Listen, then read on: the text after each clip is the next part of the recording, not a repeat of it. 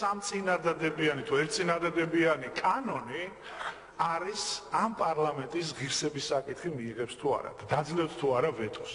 ეს ჩვენი არ არის, რომ ჩვენ ამასე ცხადი პოზიცია გვაქვს. თქვენი ღირსების საკითხია და საერთოდ პარლამენტის ღირსების საკითხია და მოგიყვებით რატო?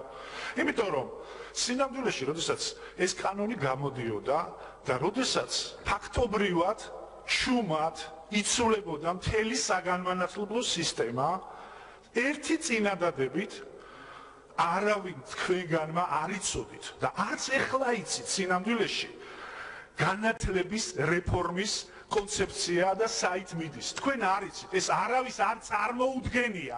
უკაცრავად არ წარმოუდგენია, ეგ ერთი, არიცით. დღესაც არიცით.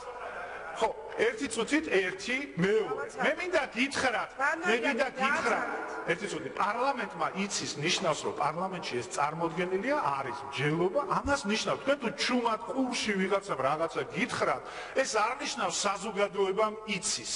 ეს არიცით თქვენ, არ ვიცით ჩვენ, იმიტომ რომ არავის ერს არ წარმოუდგენია. მაგრამ სანამ დაიწყება განათლების რეფორმა, ან მიმართულება უნივერსიტეტებს ეუნებიან, რომ თქვენ არ უნდა გქონდეთ ავტონომია, თქვენ არ უნდა გქონდეთ გამოუკიდებლობა. აი ეს დევს აქ და ეს ძალიან კარგად ჩანს ამ კანონში.